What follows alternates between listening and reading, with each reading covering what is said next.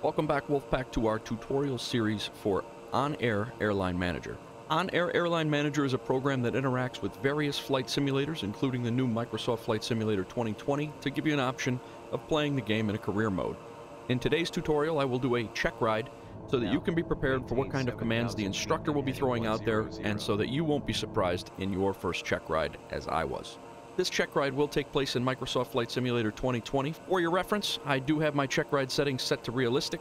It is worth noting that from the three check rides that I have personally done, there have been different instructions from each instructor, so I will try to include all of the instructions that I have personally experienced in this video. Please don't forget to hit that subscribe button as I will have several OnAir and flight simulator tutorials including renting and purchasing aircraft, hiring employees, and how I choose to make money in OnAir. I mentioned in the renting and purchasing aircraft video that you will eventually want to upgrade your planes to haul more cargo and passengers. Just like your employees, you must also be appropriately certified to fly the various types of aircraft in the game if you choose to fly them. The first step in that process after acquiring the aircraft is to make sure that you and the aircraft that you want to check ride are in the same location in the OnAir live operations map as you are in the flight simulator. In the OnAir flight setup, you should also make sure that you have at least 30 to 40% fuel on board, and it's a good idea to remove any cargo or passengers from the aircraft so that the aircraft responds to your control inputs immediately. My next step is to set a basic flight plan in the flight simulator to make our check ride as easy as possible. Make sure that your departure and your arrival airports are the same. In my first check ride of the caravan, I must have inadvertently set the arrival airport to a different airport and not realized it. After a one hour long stressful check ride and not knowing how I was doing or what was coming next, I stuck a near perfect landing, but the instructors failed me because I landed at the wrong airport. It turns out that the instructor had passed me on everything except the landing location, and I had to repeat the entire one hour check ride again. After that experience, I started throwing in a pattern of nav points around the departure airport. That way I could get back to where I needed to be after the flight instructions. Once we have the flight plan set up, we can do one of two things. We can go from right from the live operations map to aircraft details, and we can click the check ride button up here on the top. Another option is to go to my company and aircraft, find the aircraft that you're looking to check ride, again, making sure that you're there. You can click more, and you can click check ride here. And once you hit check ride, it will automatically start talking to Flight Simulator, so be ready, and it will start barking instructions at you. I think we're set. We are set in the uh, in the aircraft on the runway. Our, our flaps are ready to take off. Our lights are on, and I think we're ready to rock and roll. So uh, we're going to go ahead and give this a shot. Airborne time log. Fly runway heading. Continue to climb.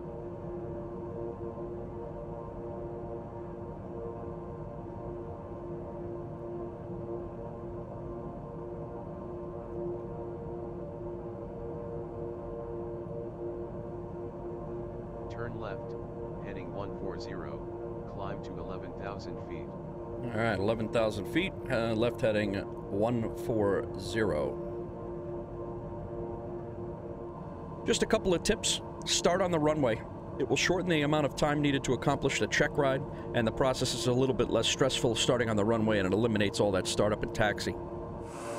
Learn the aircraft of the simulator before the check ride, including general aircraft familiarization, cockpit layout, takeoff and landing procedures, and how the aircraft handles. This check ride shouldn't be the first time you jump into the aircraft, or any aircraft.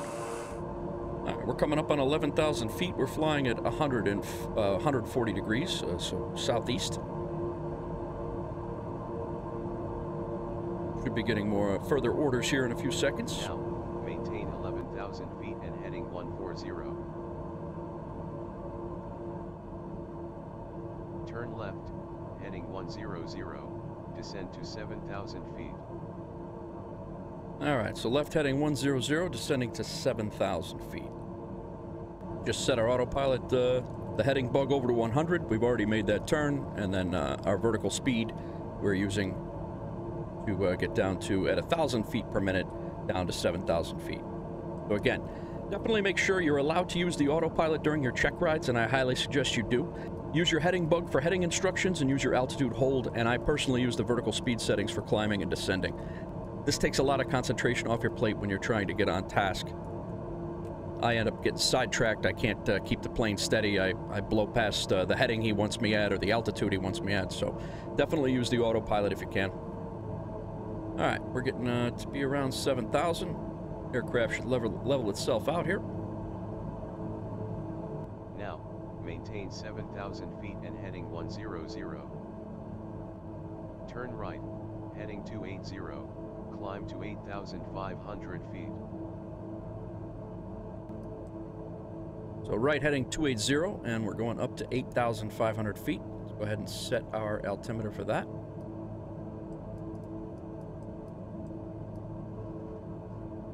Vertical speed on, and we'll go up at about 500 feet.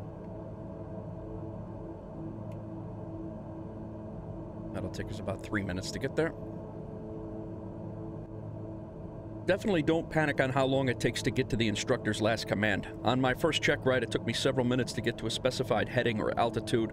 I actually blew past the altitude and the heading, had to come back on task, and uh, I still passed that portion of the check ride. Now, maintain 8,500 feet and heading 280. looking pretty good. And like I said before, autopilot makes a world of difference uh, once you get used to how the autopilot works and you're able to set it uh, somewhat efficiently. I don't, I don't know if what you would call me is efficient, but um, once you start to understand the uh, ins and outs of how it works, it's, uh, it's a lot easier.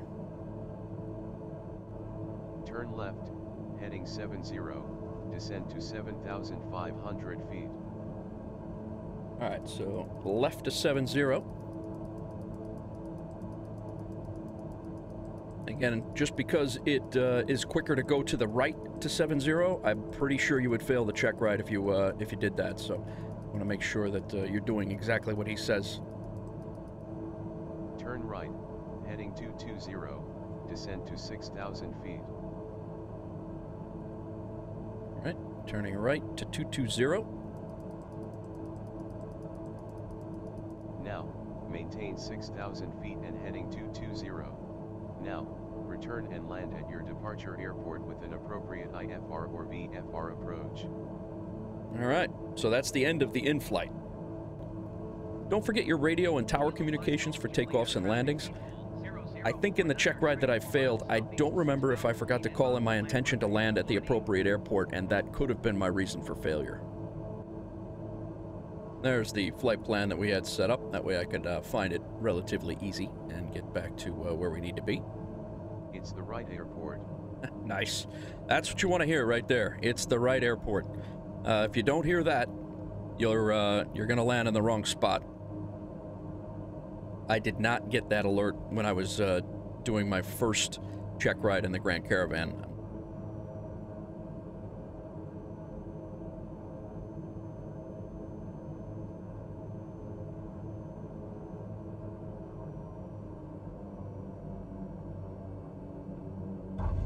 Time logged.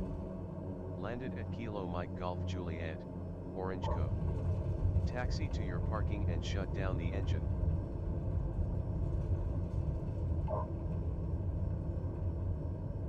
All right. Well, we landed. Let's see how we did. Did a little uh, skip landing there, but not great. But we made it. End of flight, registered in OnAir Company. All right. Thank you. You passed your practical exam. Four out of four exercises succeeded. All right, end of flight. We passed our exam. Four out of four exercises uh, succeeded. Now, when we come into the manage screen for me, I have a multi-engine turboprop land. And again, I have this certification now. I can fly any multi-engine turboprop aircraft, not just the B350. If you enjoyed this tutorial or you learned something, please drop a like and consider hitting that subscribe button and setting your notifications to all. Check out the next video in this tutorial series popping up on your top left, or if you'd like to catch my Microsoft Flight Simulator 2020 Career Mode series using OnAir, check out the playlist that is popping up on your bottom left. On your right is another video that YouTube thinks you might enjoy on the channel. If you also enjoy survival and military games, consider subscribing to my second channel showing up right now. There are several other content options in the links in the pinned comments or in the description down below. Click any one of those links and we will see you over there.